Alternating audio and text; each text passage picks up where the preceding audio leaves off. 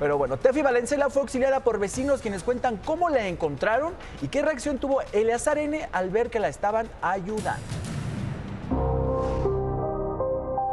Durante la emisión de un programa sudamericano, salieron a relucir testigos del caso entre Eleazar N y su ex, la modelo Stephanie Valenzuela, quien fue severamente golpeada por el actor y que gracias a algunos vecinos logró escapar. Seguimos en Sale el Sol. ¿No? Todo O sea, coincide exactamente con lo que hemos dicho aquí, con lo que hemos visto en los videos también, que ella sale despavorida, gritando, pidiendo ayuda, los gritos, todo lo que se oía en el departamento, y cómo los mismos vecinos la apoyaron con ropa, porque ella estaba con la ropa rota de la parte de abajo y arriba sin nada.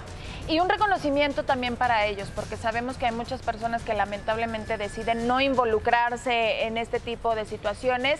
Eli Ra fue una del eh, exnovia también de Eleazar, platicó su experiencia que decía, le tocaba a los vecinos, le pedía ayuda en otro edificio donde vivía Eleazar y decía, me cerraban la puerta en la cara.